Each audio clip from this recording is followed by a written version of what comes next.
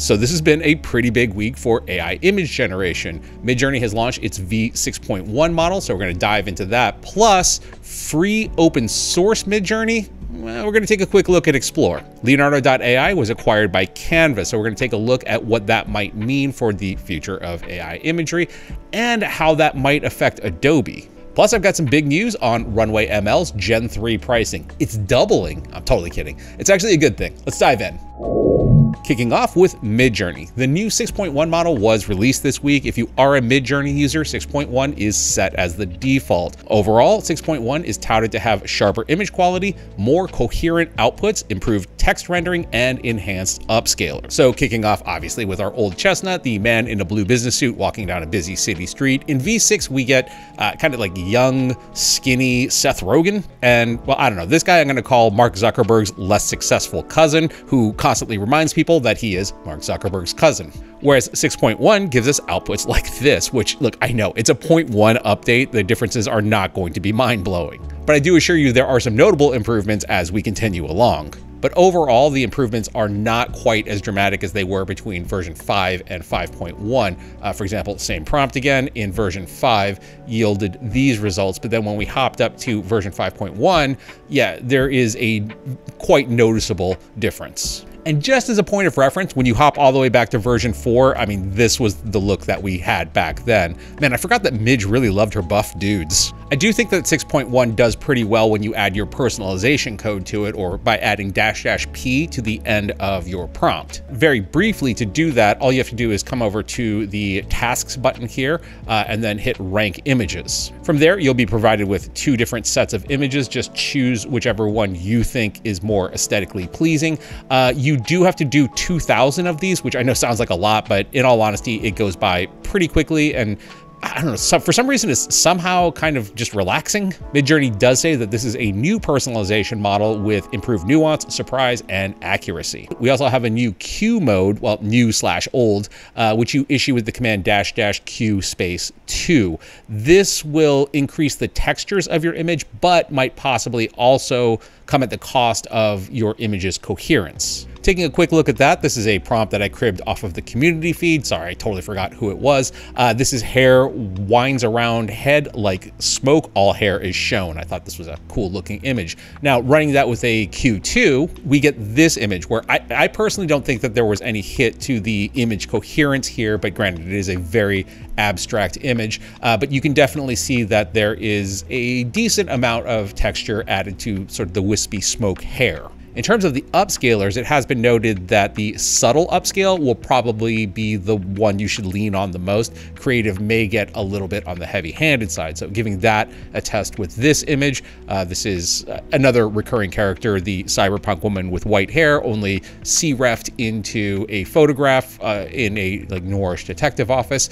Uh, so this is just our standard output. If we give it a subtle we end up with this, which is, to be honest, mostly the same. But when you kick it up to the creative, uh, we end up with this result, which, in my opinion, is just a little too heavy handed. Uh, it just kind of comes off as feeling very airbrushed um, or heavily manipulated. 6.1 also has better in-image text coherence. So when you use quotation marks with a word, you should end up with that word. For example, here with Tim's Bar and Grill. This is 100% somewhere that I will be at some point in my life. You are all invited for a free drink and a free burger. That said, I don't want to necessarily over or undersell the new text in 6.1. For example, my vacation book read is the Book of Elsewhere by Keanu Woe Reeves and China Miéville. Not to turn this into a book club, but to give some context, this is a sci-fi, pulpy, philosophical yarn about an immortal warrior pondering his own existence. Very much a Keanu Reeves thing. And clearly, look, it's going to be a movie, so I decided to generate up some movie posters. Uh, Midjourney does do a very good Keanu Reeves.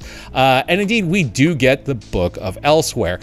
I do find the title treatment itself a little on the bland side. So just as a note, it is always going to take a number of rerolls before you find something that A, stylistically matches what you're looking for and is, you know, spelled correctly. I will say that I did like this one. And hey, if you do want to read along, uh, a link to the Book of Elsewhere is down below. Describe looks like it's getting an update as well. In fact, it actually might be getting an update right now, uh, as I was just testing out the image references in 6.1 using our old friend Daniela Van de Donk dressed as a pirate. And yeah, nothing is actually filling in. An interesting little thing that I noticed as well is that down here in tools, we can actually see describe here as well. Uh, unfortunately, it's actually broken right now, which again tends to lead me to believe that the update is actually happening right now. I'll circle back to that when I get word on an official release. Describe is actually one of my favorite features of Midjourney. Uh, in the meantime, yeah, the image reference does look a lot more solid. Um, yeah, it's definitely taking a lot more details from that initial Daniela image and adding it into, you know, a Midjourney re-rendering of it. So overall, not bad. It is a very slight quality boost. Uh, but then again, to be fair, it is a 0.1 update. We're not looking for a massive jump like we do between you know, version numbers like 5 to 6 and 6 to eventually 7. To that, version 6.2 is not far behind. Apparently, we'll be getting that within the month. Uh, and then from there, that's the end of version 6 updates. We're just going to move on to version 7 after that. The key features of version 7 are said to have enhanced aesthetics, faster performance, smarter prompt understanding, increased knowledge base, improved word comprehension and rendering, and significant overall enhancements. And still on the roadmap are 3D and video. And apparently, uh, the Storyteller tool will potentially release this year. Not sure exactly what that's going to look like, but I am very excited about it. Very briefly, I will have a full video on this coming up very soon. Uh, but this week, Flux has also released. This is an open source text to image model created by Black Forest Labs. Uh, it's a group of ex Stability employees. This is being touted as an open source Midjourney competitor. Uh, I'll spend some time with it and let you know what I think shortly. In the meantime, if you want to check it out, it is linked down below. Moving on, and kind of big news, Canva has acquired Leonardo.ai. That is something that I don't think anybody saw coming. This is kind of big news considering that Canva also recently acquired Affinity, which is kind of like Photoshop without all the Adobe attached to it. The price of the deal is undisclosed, but according to an AFR report, it was somewhere between 78.5 million and 120 million. Leonardo will continue to operate independently, which is actually great to hear. I've always said that Leonardo is very quick to adopt to new technologies like real time universal upscaling and even way back uh, pose control and control net. On the Canva side, this acquisition seems to be more about getting Leonardo's new Phoenix model into their Magic Media feature. Personally, I'm not the biggest Canva user, but maybe having Leonardo built in will get me over there a little bit more. Uh, do let me know if you are a Canva Power user and what I might be missing. But ultimately, I think that the more interesting and hidden story in all of this is the fact that, again, Canva acquired Affinity. Affinity Photo, if you're not aware, is it's a lot like Photoshop only, you know, you pay for it once and there is no subscription service. And when I say it's a lot like Photoshop, I mean it's a lot like Photoshop because it was built by the people who originally built Photoshop. And actually, if you're watching this video shortly after release, I mean, it's really cheap. Uh, I guess they've got a sale going on right now where it's $34.99. Now, granted, I am pretty locked into the Adobe ecosystem, but I have used Affinity in the past, and I do think it's actually a really, really solid image editor. So if you are looking for one, it does have my recommendation. But again, the interesting part about all of this is because Affinity's parent company is Canva, and Canva now owns Leonardo. Does Affinity now have their own version of GenFill only powered by Leonardo? And while I do use GenFill a decent amount, it is mostly relegated to like extending backgrounds and removing objects. I, I, think that anybody that spends a pretty good amount of time in Adobe's GenFill knows that it's not the most creative. Leonardo, on the other hand, is very creative. So will this eventually be the thing that really puts Affinity on the map? I mean, I don't know, but anything that shakes up Adobe, in my opinion, is a good thing. Getting back to the Canva side, it does not look like Leonardo has been integrated in yet, but then again, I'm not a Canva Pro user, so uh, maybe it's just hidden behind a paywall.